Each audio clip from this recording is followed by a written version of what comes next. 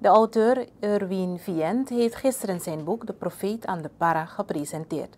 Dit is het tweede boek dat hij heeft geschreven over het leven op de plantages in het district Para na de afschaffing van de slavernij. Is Vient muzikaal ontvangen? De schrijver kwam tijdens zijn afstudeerperiode toevallig de naam van zijn grootvader Jacques Paulus Vient tegen in een tijdschrift genaamd Berichten uit de Heidense Wereld. Het tijdschrift was geschreven door de zendeling W. Burghardt.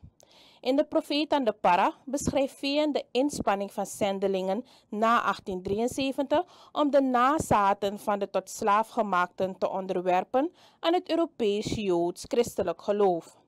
Tot de 20e eeuw bleven de Paranen hardnekkig vasthouden aan de eigen Afrikaanse Paraanse religie.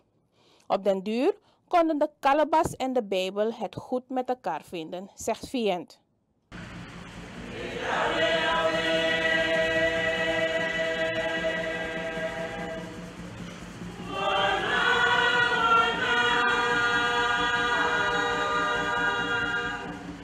Over zijn verhaal gaat de profeet aan de para.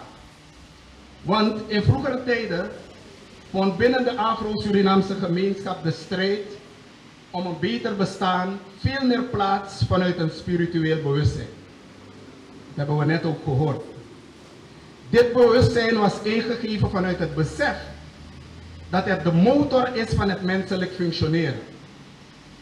Maar ook vanuit het besef dat de Afrikaans-Surinaamse cultuur en religie bijzondere krachten en wijsheden bevatten. Kenmerkend voor de Afrikaans-Surinaamse spiritualiteit is het ontwikkelen van het zuivere gevoel, krimfiri. De openheid voor en ontcijferen van zuivere spirituele boodschappen, krindring. En de kracht van het woord, mofo etai, mofo elusu, mama mofo na bana Het is vanuit dit besef wat maakte dat de voorouders nauwelijks angsten hadden voor de onvoorspelbare dingen van het leven. Wat een verklaring kan zijn voor de wijze waarop zij de meest moeilijke perioden in de Surinaamse geschiedenis hebben kunnen doorstaan en daar krachtig uit te komen. Erwin Vien tijdens de culturele presentatie van zijn boek De Profeet aan de Para, gisteren in het Claudette Tony Multicultureel Centrum van Stichting Viti Fouini te Poelepantje.